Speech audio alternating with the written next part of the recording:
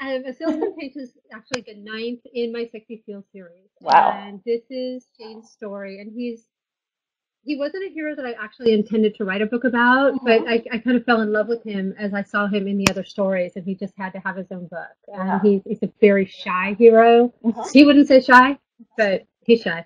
He's quiet. Um, he's just got that that strong silent type thing going, and and this is a story of kind of his his struggles um, going home Mhm. and dealing with the family issues that he has that tie into his career choices.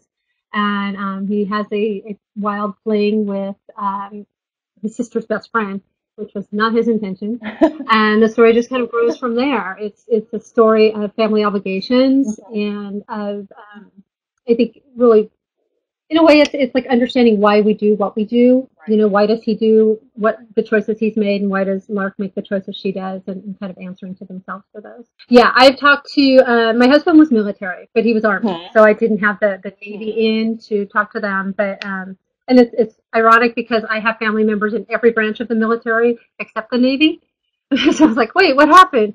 But I, um, because my, my husband is very active in a lot of the military organizations, I had access to a lot of, of Navy personnel and have interviewed and talked to SEALs, have had, um, you know, some really great input and help with, you know, just getting certain elements of the stories right. The, the editor at the time was launching, she wanted to increase the number of uniformly hot they were producing each, each, Mhm. um, year. They'd had one or two, but she wanted to start doing one a month yeah. and she'd invited me to do Yeah. two. So I was I was asked to write two of them, and, and the thing was, I said, "Great, can I do Army?" No, Army's taken.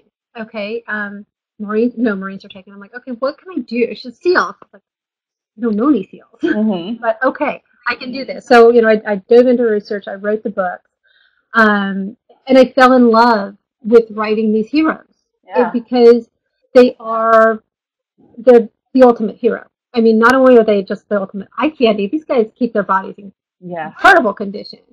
So that element of being a hero is, is really really nice to um, play with in a book.